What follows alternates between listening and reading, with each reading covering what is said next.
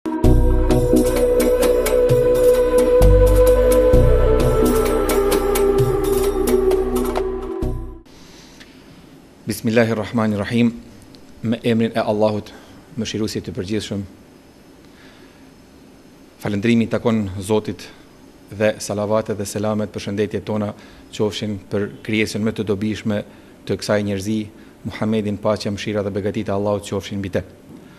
të nderuar vëllezër dhe motra padyshim se një prej atyre vlerave ma të mëdhaja të cilat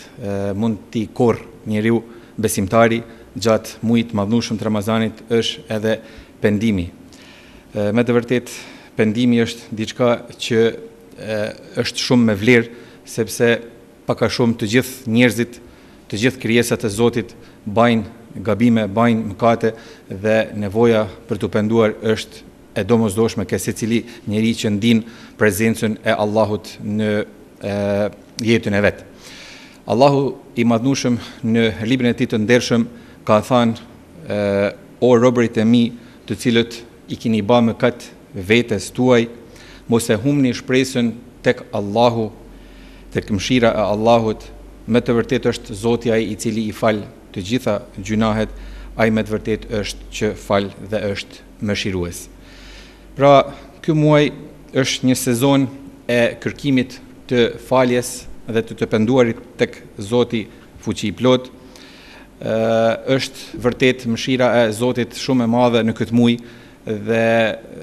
i pret njerëzit me padurim që ata t'i kthehen me pendim tek Zoti, nuk ka dyshim se gjynahet apo mëkatet e njerëzve janë të mëdhaja, por sado që ata janë të mëdhaja, është mëshira e Zotit ajo që është më e madhe sesa janë vetë mëkatet që të cilat i bën robi. Zoti i Madhëruar në librin e Tij të ndershëm në Suren Ali Imran, njëqind e pesëdhjetë e pesti ajet i kësaj sure thotë, Edhe ata të cilët kur bajnë ndonjë mëkat apo i bajnë padrejt vetvetes së tyre,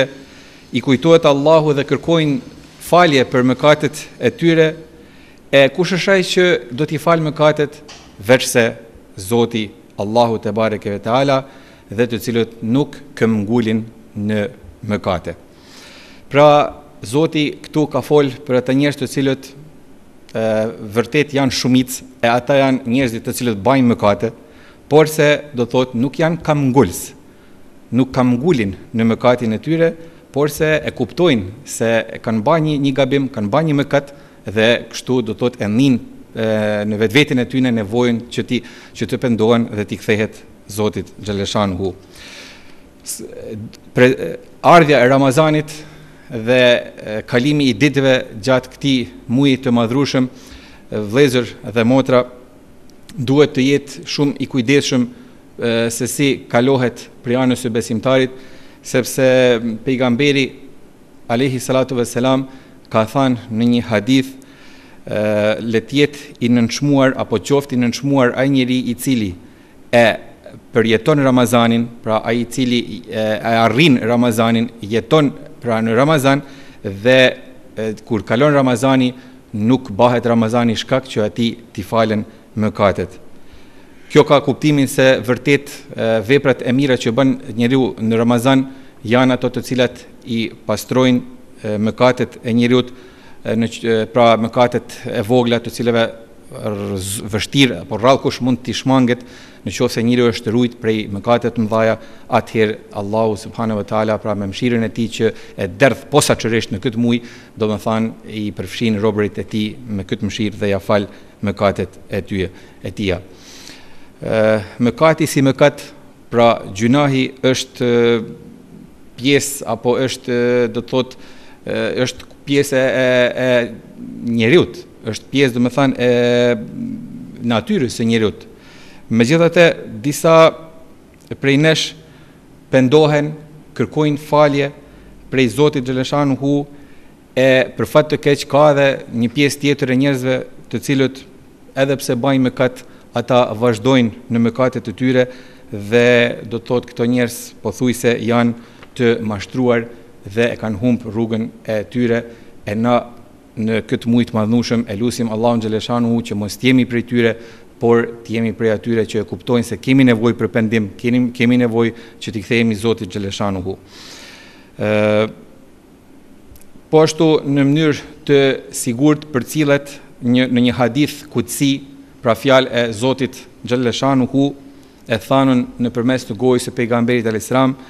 ku thuhet, O biri i Ademit, Me të vërtetë, ti asnjëherë s'ka ndodhë që të kërkosh diçka prej meje dhe që unë nuk të jem përgjigj në këtë punë dhe nuk ta kem plotësu këtë nevojë tande. Prandaj, o ju të cilët agjëroni, ky muaj është një shans që të bani një pendim të sinqertë tek Allahu xhelleshanuhu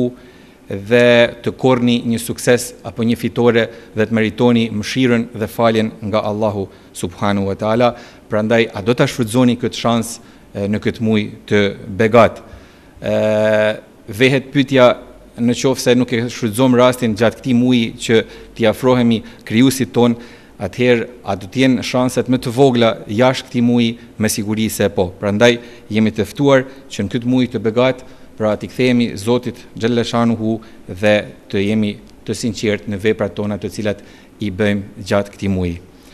Lusim Zotin që me na përfshi me mëshirën dhe me faljen e rahmetin e Tij gjatë këtij muajit. Lusim Allahun xhelle shanuhu që t'i pranojë të gjithë Adhurimet tona të cilat i përcjell ky muj i begatë i Zotit xhelle shanuhu, Allahu xhelle shanuhu derdhtë bereqetin dhe mëshirën e Tij mbi gjithë besimtarët që kalojnë këtë muj me agjërim dhe me vepra tjera të mira dhe lusim Zotin që t'i pranojë të gjithë këto punë dhe t'i shënojë në librin e veprave tona të mira. Veselamu alejkum.